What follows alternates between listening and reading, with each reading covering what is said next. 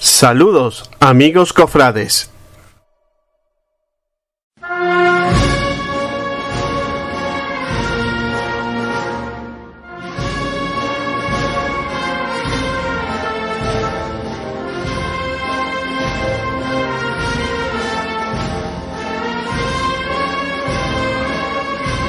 Hablaremos del Via Crucis extraordinario, la propuesta parte del tradicional Via Crucis que esta agrupación de cofradías de Semana Santa de Málaga realiza anualmente en el primer templo de la diócesis.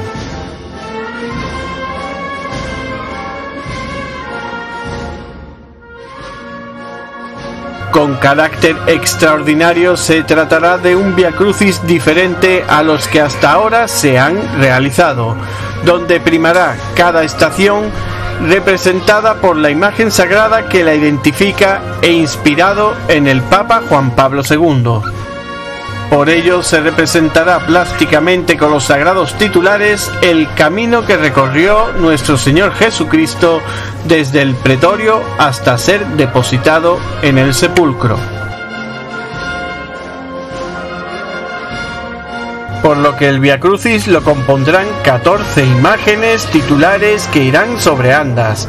En este sentido, se trabaja con un todo homogéneo, donde las andas sean un simple vehículo que nos ayude a la contemplación del misterio de la pasión y muerte del Redentor.